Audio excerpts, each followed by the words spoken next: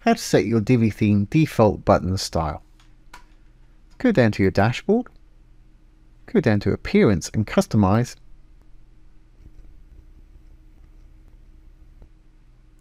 That'll bring you to this page here.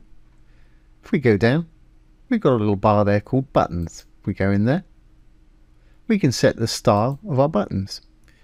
Here you can go in and set the text size, the text color, the background color of your button, and with all things Divi just click on the color to change it. You can give it a border if you want to.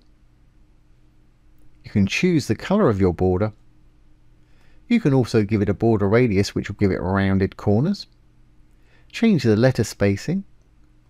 Bold, it, italicize, capitalize or underline it if you want to.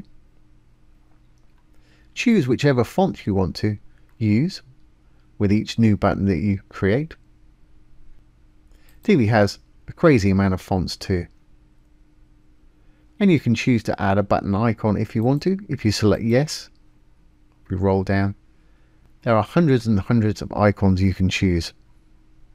You can choose your icon color, whether to place it right or left, whether to only show it on hover. Yes or no. Once you're happy with those settings, we can go back, little chevron to go back here, and create a hover style for it. When they put their mouse on it, you can change the text color, background color, border color, border radius or letter spacing by putting in new values up here. Each button can be styled individually within the button module or call to action module also. When you're happy, hit publish.